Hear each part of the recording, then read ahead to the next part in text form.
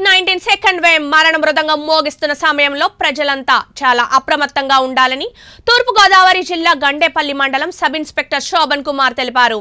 ఉదయం ఆరు గంటల నుండి పన్నెండు గంటల వరకు మాత్రమే ప్రజలు జీవన విధానానికి కావలసిన నిత్యావసర సరుకులకు అనుమతినని తెలిపారు.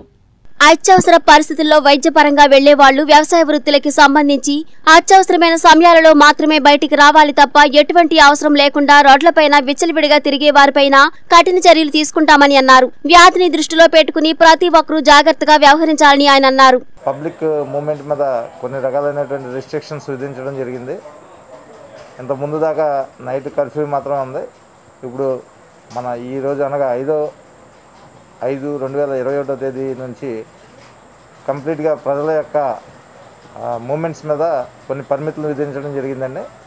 ఉదయం ఆరు గంటల నుంచి మధ్యాహ్నం పన్నెండు గంటల వరకు మాత్రమే ప్రజలు తమ నిత్యావసరాల కోసం కానీ వేరే వేరే ఇతరత్ర వ్యాపకాల నిమిత్తం కానీ బయటికి తిరగడానికి అనుమతించబడతారు. పన్నెండు గంటల నుంచి మళ్ళీ మరుసటి రోజు ఉదయం ఆరు గంటల వరకు ప్రజల కదలికల మీద పూర్తిగా నియంత్రణ ఉంటుంది. కాబట్టి దయచేసి ప్రజలందరూ కూడా ఈ విషయాన్ని గమనించాలి.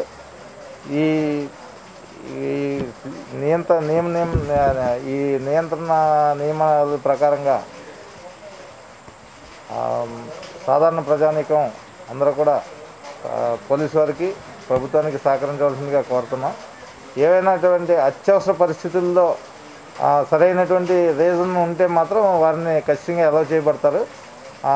అంటే ఏదైనా హాస్పిటల్స్కి వెళ్ళే వాళ్ళకి కానీ వైద్య నిమిత్తం వెళ్ళే వాళ్ళకి కానీ లేకపోతే ఎసెన్షియల్ ఈ కమోడిటీస్ ట్రాన్స్పోర్టేషన్కి సంబంధించిన ఆహారాలు కానీ అగ్రికల్చర్కి సంబంధించిన ఆహారాలు కానీ అత్యవసర వస్తువులు నిత్యావసర సరుకుల రవాణా దానికి సంబంధించి కానీ తయారీ కేంద్రాలకి వెళ్ళే వాళ్ళకి కానీ పనుల నిమిత్తం వెళ్ళే వాళ్ళకి కానీ సరైనటువంటి ఐడి కార్డు సరైనటువంటి పర్మిషన్స్ అవి తీసుకుంటే ఆ రీజన్ కరెక్ట్గా మీరు చెప్పగలిగితే వాళ్ళందరినీ కూడా ఎటువంటి ఇబ్బందులు లేకుండా పర్మిట్ చేయబడతారు. అదే అన్నెసరీగా అన్నెసరీగా బయట తిరిగే వాళ్ళకే ఈ నియంత్రణ అనేది ఉంటుంది. ఖచ్చితంగా వాళ్ళందరి మీద కూడా కేసులు నమోదు చేయడం జరుగుతుంది.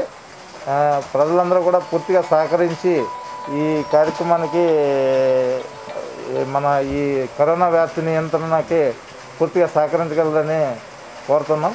కాబట్టి దయచేసి సహకరించండి.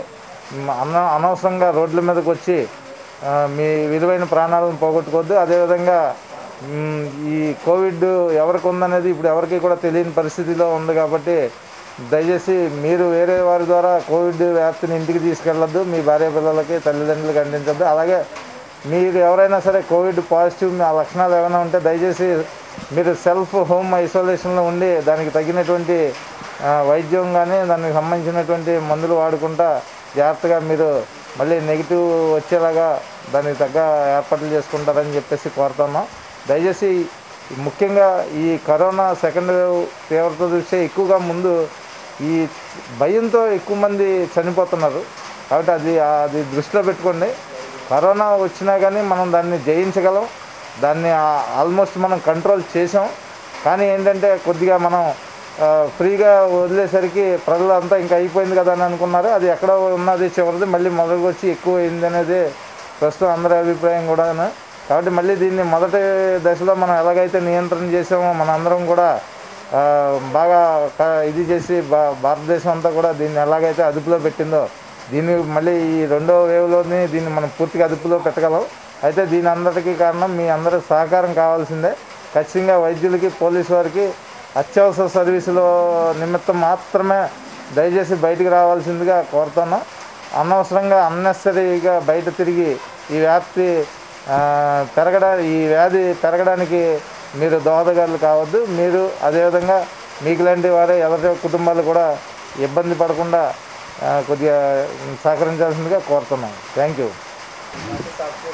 ఎవరైనా సరే రైట్ ఎ- ఎవరైనా సరే ఈ కోవిడ్ ఉల్లంఘన కో- కోవిడ్ సందర్భంగా ఏర్పాటు చేసినటువంటి ఈ కర్ఫ్యూ ఉత్తర్వులను ఉల్లంఘించి వ్యాపార సముదాయాలు తెరిచి ఎక్కువగా జనాన్ని గ్యాదరింగ్ అయ్యే గ్యాదర్ అయ్యేలాగా ఇచ్చేసిన లేక వేరే ఇతరత్ర జనాలందరూ కూడా ఒక దగ్గర గుమ్మిగూడడానికి సంబంధించిన కార్యక్రమాలు ఏర్పాటు చేసినా సరే వాళ్ళందరి మీద కూడా section one eighty eight IPC అదేవిధంగా సెక్షన్ ఫిఫ్టీ వన్ నుంచి సిక్స్టీ వరకు కలిగినటువంటి disaster management act